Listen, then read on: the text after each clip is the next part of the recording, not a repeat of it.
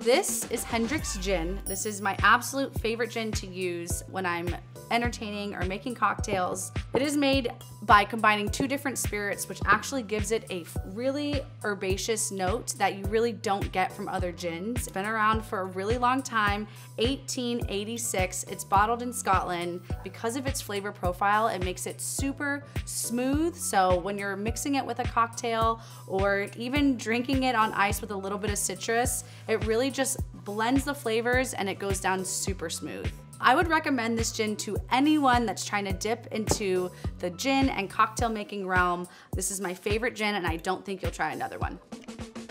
Are you looking for more product advice and wisdom from me? Or me? Or me? Hit that subscribe button or head over to thedesirecompany.com for more classes, how-tos, and reviews.